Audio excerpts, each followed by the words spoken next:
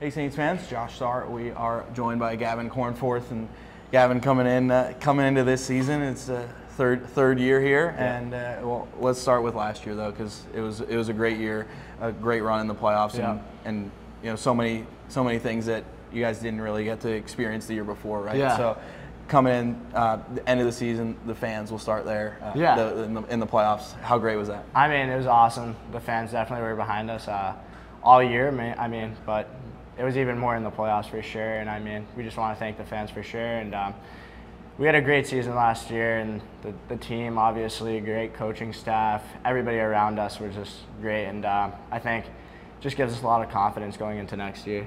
I talked with a lot of the guys about the culture that you guys created yeah. last year in the locker room. What are you going to try to do this year to keep that going and, and bring the same type of atmosphere? Yeah, I think we had some great leadership last year. I mean, led by Jake Sondrel, he's obviously going into college this year, so there's going to be a little turnover next year, and um, I think he, he, he did did well at uh, keeping the team together, even though sometimes we'd lose a game or something like that, we'd always bounce back from that, um, and that started with our leadership.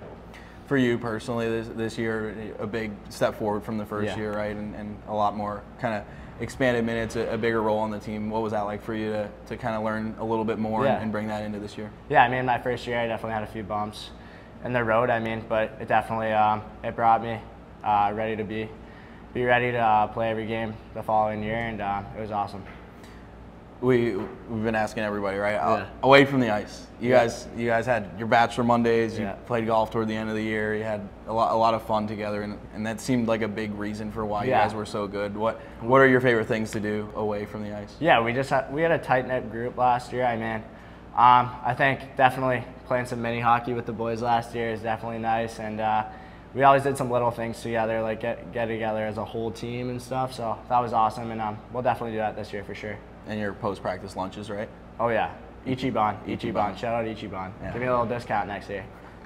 He loves his Ichiban, so oh, yeah. maybe we'll have to work on that. All right. Oh, yeah. um, coming into this season, you, you guys obviously kind of theme feels like kind of unfinished business yeah. with, with, everyone. What what can you guys do this year to, to make sure you start on the right foot and, and keep it going? Yeah, I think we just need to have a good start, um, meet all the kids first, and then I think obviously um, winning it's going to be the goal this year. You know, um, watching Fargo lift the cup obviously wasn't great, but I mean I know we'll be back there this year, so I'm excited.